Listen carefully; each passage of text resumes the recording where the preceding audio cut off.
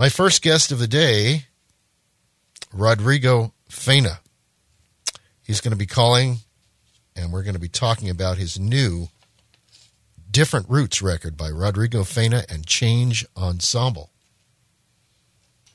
Good afternoon, Rodrigo. It's Abe. Good afternoon, Abe. How are you? I'm great. Where are you calling from again? Uh, uh, well, now I'm coming. I am calling you from Madrid, from Spain. I'm, I'm in Spain at this time.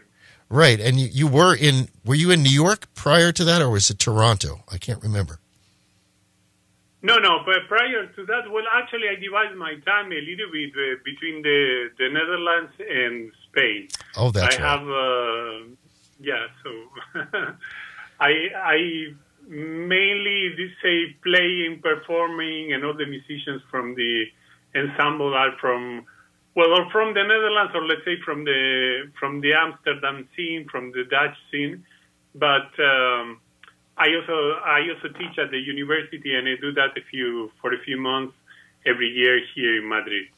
Well, you've got a new album on Red Piano Records. It's uh, Rodrigo Faina and Change Ensemble.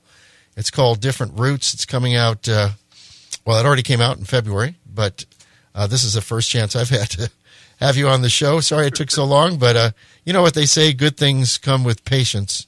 And uh, thank you for Of being thank you for being so patient, and thank you to uh, Mr. Jason Paul Harmon Byrne, who uh, turned me on to what you're doing from Red Cat Publicity. Thank you, Jason. And uh, I've got the album queued up. There's just so many great tracks. I'd like to start off with playing. Uh, it's just called Opening, and then we'll come back and we'll chat. So uh, don't go anywhere. Okay.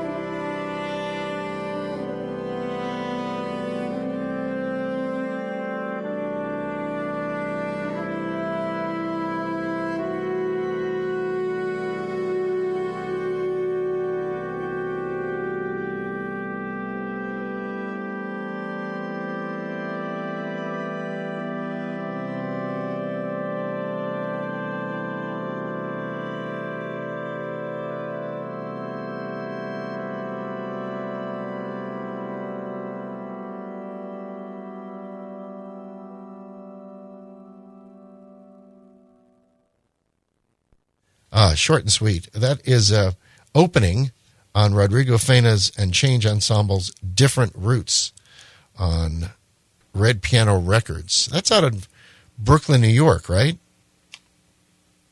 Yes, uh, Red Piano Records. It, it has uh, it's uh, based in in Brooklyn. Right. I, uh, I. So that that led me to wonder: um, Were you performing? How did you get involved with Red Piano Records? Well, it's um, some of the musicians that are performing in uh, in the ensemble. Um, they had a few records there, actually some very very nice records. Uh, it's uh, Gerard Kleijn, uh, the trumpet player who plays a beautiful uh, flugelhorn, uh, flugelhorn solo on the third track. Um, he has his, a few CDs uh, with red piano. It's it's it's really wonderful music. and uh, and also red piano. It's um, uh, oh, I have it's late here. I, I suddenly have. Oh, that's have a okay. blank. That's But- a, that's okay. But, but it's through, through some musicians and and, uh, and there's a connection with the uh, I get Frank Carlberg, right? That, that's the name. Frank Carlberg is uh, taking care of things in in Red Piano Records, and Frank uh, has performed quite a lot in Holland and and composed music. So we didn't know each other personally, but we knew some people in common, and that made it made it possible. Well, the ensemble is rather large. I, I'm guessing that you did you all record in one place, or was this a a, a a pandemic recording where everybody recorded in their home studios and then it was put together later? No, we recorded it in in studio, but um, I did it. Uh, some, not all, but some were done per sections. That a lot of um, a lot of large ensemble recordings are, are sometimes done like this. You know, like the trumpets or, or the woodwinds, and and if there's voice, you always do the voice at the end. Um, that was a little bit not not not because of the pandemic, because actually we finished the the whole recordings uh, before the pandemic, just before the pandemic started. Oh, okay. Um, so it, it was it, then it took a little bit longer the risk, but it was just before, and it was for me. It was also a way of being uh, sure that things would be done as I as I wanted because um, I had experience with uh, uh, the music being performed with other ensembles and and, and I have well, also you know with orchestras and those kind of things. And um, sometimes things are good but to get to the point that you know the lines or the rhythms are really performed as you want you have to take time. And um, so I prefer to do it with smaller groups like like you know so so you can work with the with the saxophones in the phrasing in the way you want the things to be played to to really have it as I wanted or or the closest of what I wanted or I had in my head you know I, So- I, I think I, under, so I think I understand. So let's say you recorded all the saxophones in one recording session. So were they listening? Were they listening to a scratch track of the rest of the music to have a feel for where they would come in, in addition to you conducting?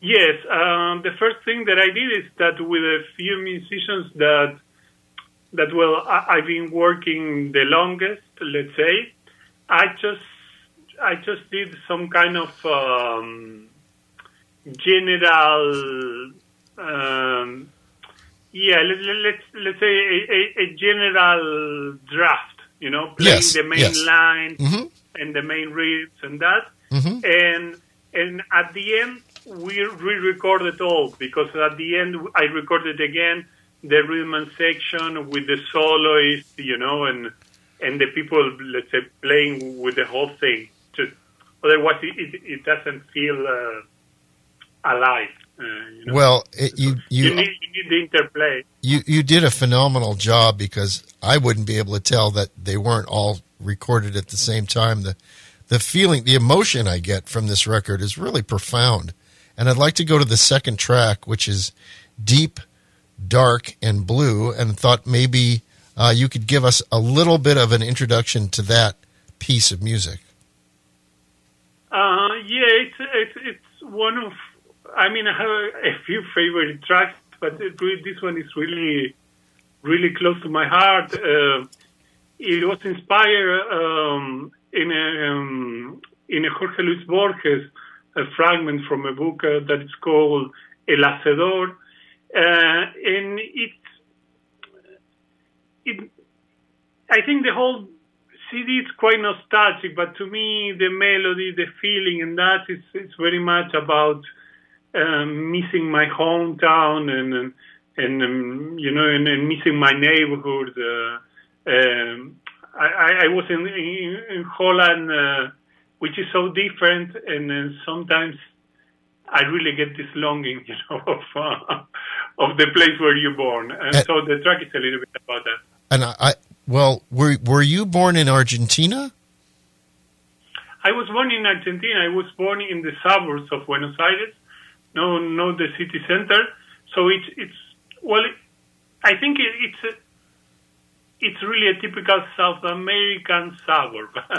I, I think that that's the best way with that I can explain because I travel a lot and and in every city it's different. You know, here it's um, it's more low houses, but it's kind of uh, gray. You know, in in a certain sense, it's not. Um, it, you you still vibrate the city, uh, but it's not as as you know. Sometimes, for example, in the states, you think about the suburbs in some places, and you you you you think about nature or or very quiet neighborhoods. Yes, it's not. Uh, it's not the case. well, here here Uh, here is uh, Rodrigo Faina and Change Ensemble, and the name of the track is Deep, Dark, and Blue. Here, it's Tuesday Lunch with Abe on the Rock.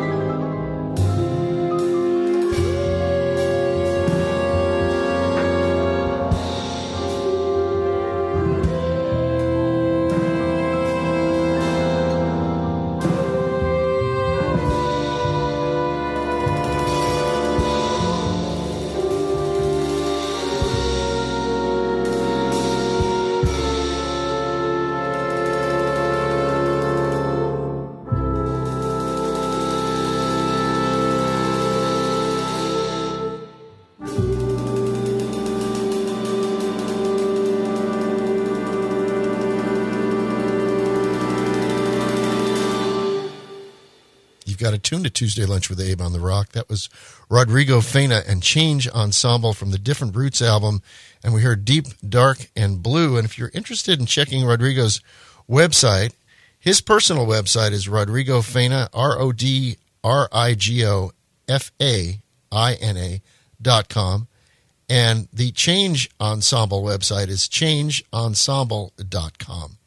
So you got both things. And also, uh, Rodrigo has uh, told me that this is on Bandcamp. So look up Rodrigo Faina. Is it on, under Rodrigo Faina on Bandcamp? Yeah, it's Rodrigo Faina, and, and the web of the ensemble is uh, changeensemblemusic.com. Changeensemblemusic.com. Okay. Yeah. Oh, Yeah. okay. It's not changeensemble.com. It's changeensemblemusic.com. Okay. Very good. Um, and okay. So now you are in Spain. Are you actively playing music in the community there, or are you concentrating on composition? No, I I um, I concentrate for, for the for the last uh, I don't know almost, almost twenty years I think mainly in composing and um, and different kind of music. I, I was immersed for a really long time in um, in classical contemporary music, which I which I still do. Uh, actually, lately I was working in, in a piece for piano and clarinet that will be performed here. Uh, I think it's 15 of December in the um, in the Madrid uh, festival, in the Contemporary Music Festival of the city, and and I don't perform much uh, here. I, I I'm, I'm not that connected in Spain, uh, so and before pandemic, I was even the time that I was here, I was flying very often to to the Netherlands. Um, but what you know now, the Netherlands it- it's again facing a, Oh, yes. a lockdown. So I know. I've been reading all about it, and and you know, I, I was curious. You moved to Spain. Is this because you uh, you're there to teach mostly? yeah, I teach. Uh, I, I get a, a profession. Um, I'm a professor at the university, and uh, and I'm not all the time here. I think I, I teach about seven, eight months. Uh, no, it's six, seven months a year. Six, seven months a year. Um, so I, I kind of divide my time because I never wanted fully to to move to Spain because I find that um, the music scene and um, in Holland it, it's uh, well I don't know if it's richer but but maybe Well, I, I have. I have maybe it's more of my thing let's say or or I, I feel more at home musically in Holland and I develop a lot of contacts over the years and which is something that takes a lot of time when you change the city. Um, yes, but what's what's your uh, what's the community like where you're at? Are you in a is it a city, suburban? What what kind of environment is it? No, I'm in the center of, of Madrid. I, Oh, Madrid, I teach okay. really in the very center of, of Madrid and in Puerta de Alcalá, which is, you know, uh, just a few meters from El Prado. So it, it cannot be more in the center. So have have, have, And, you, uh, have you become an aficionado of paella?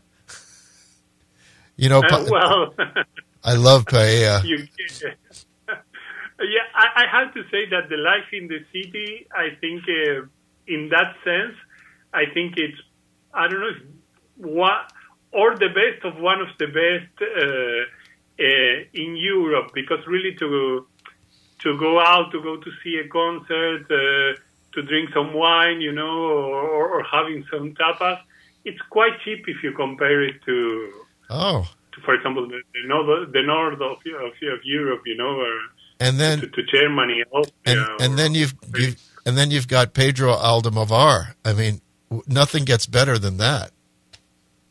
Nothing gets better of that. Of that. Uh, you know, some time ago you were uh, just before you were asking me when we were not in the air about uh, film music.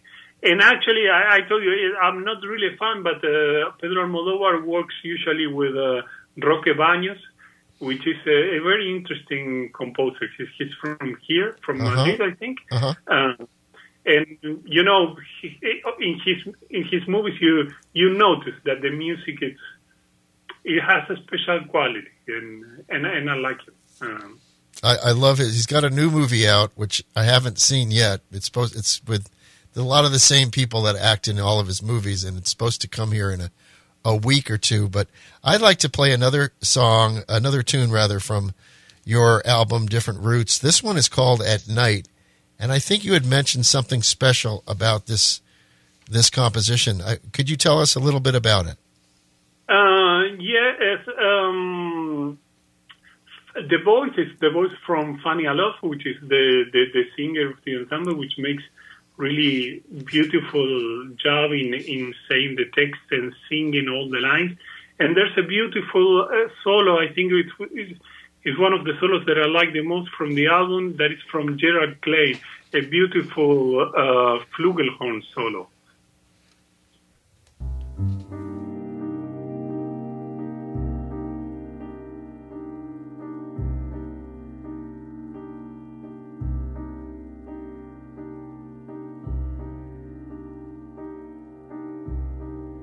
I'm the bear in the pipes of the house.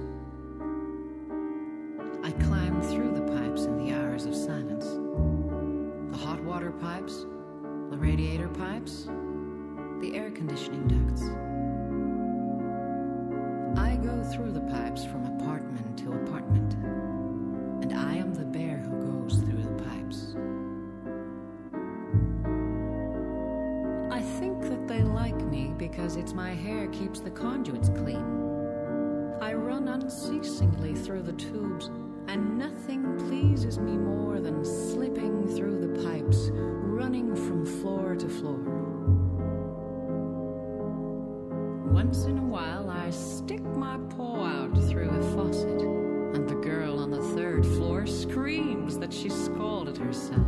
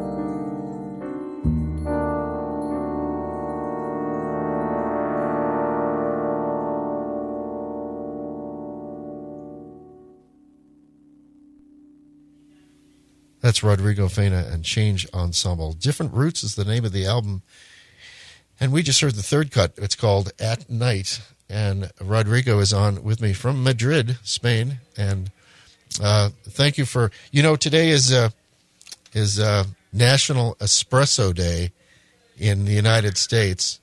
So uh, uh, I would think, is, is coffee a big deal in Spain? Uh, well, in, in, in Spain it is, but actually my wife is Italian.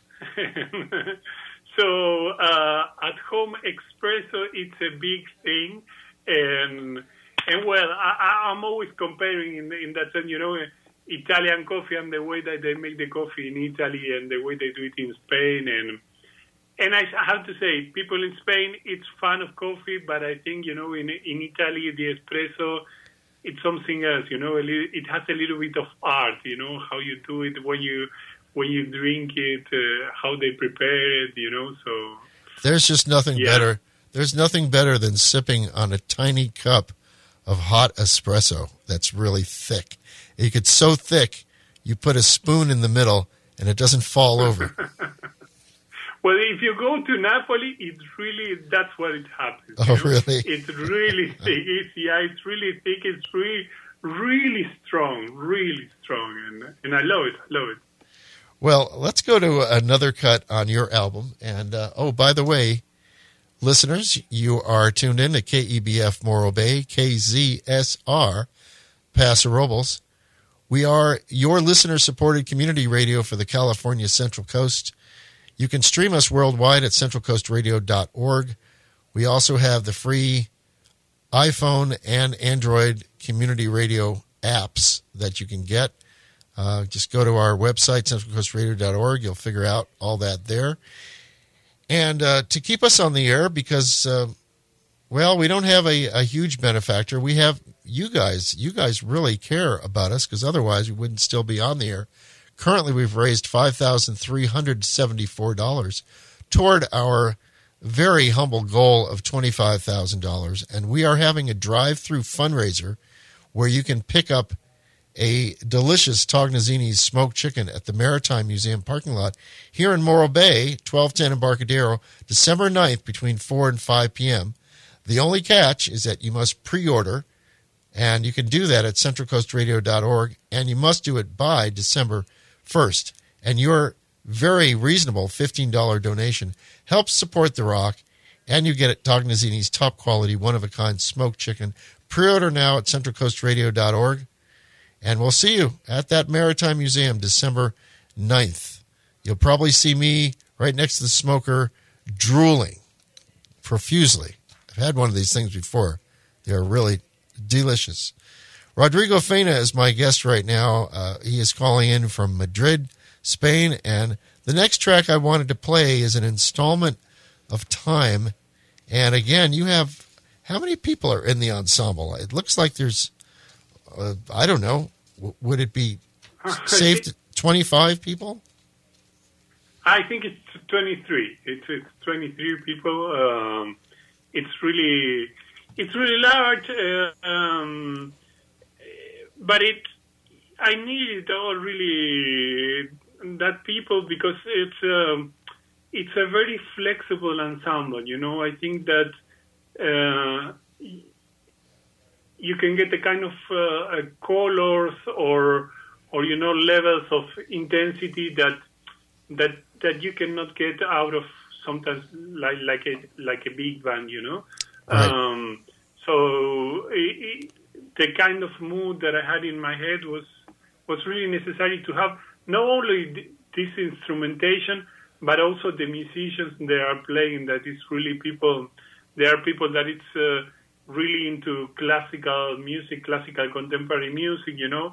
And there are other musicians. They are like jazz musicians or or more into improvise, you know, like freely improvised music. So really, there's a it's, it's a, I think it's a unique combination, and, and, and it's necessary to make it, the music work. Well, on that last cut we played, which was at night, the soloist was Gerard Kleijn on the flugelhorn, and I just lo- I loved his solo. I love the whole feeling of this record is very lush and and and I don't know. I feel like I'm in in sort of a meditative kind of state when I'm listening to it. Is was that your intention, or uh, how how do people react when they listen to the music? What are their impressions? Well, um, you know, p- people, many people talk about like uh, they related to to film music, you know, and mm. and uh, and I always explain that it's really not like that because it, I don't. I'm not a fan of film music, neither I use any techniques. You know, my background is uh, like jazz, like straight ahead jazz, and um, and and of course, you know, like a, a composer like a Bob Brookmeyer. I mean, the the people that really make a stamp in in, in jazz composition, and on the other hand, in in the classical contemporary music. Um, so so I don't have that that cinema, but I think that I I, I try to make music that is evocative. You know, I I see images in my head or or stories and I try to describe that with music, to tell those stories with music. So when people tell me this about, uh, you know, it's it's like a film music, I think that the what they are telling me is that when they listen to the music, they can they can see these images or this, you know, kind of abstract images that that are there, and that made me really happy because it is my intention. You know, it's like I feel like I'm doing a, a good job in, in well in transmitting what I want to transmit. You know, it's it's interesting that you mentioned that because just the other day, and I can't remember who the artists were.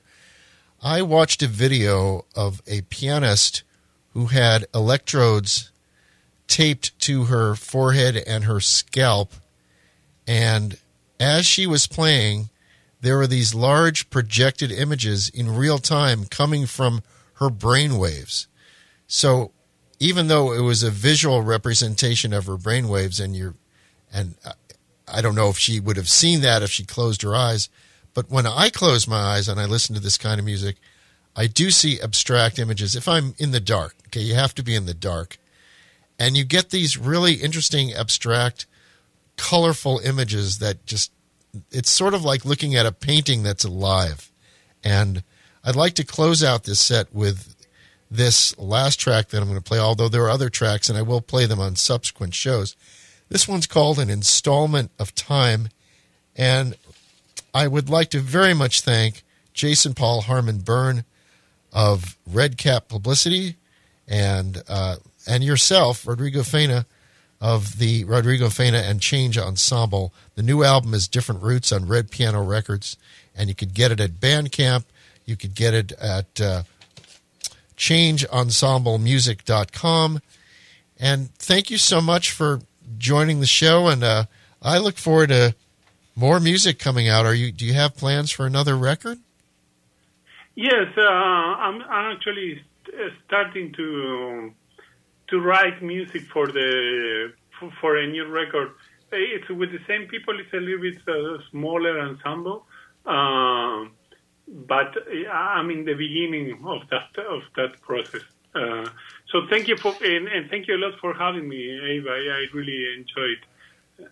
You're so you're so welcome, and uh, we're going to play an installment of time. You are tuned to 97.3 and 107.9 The Rock.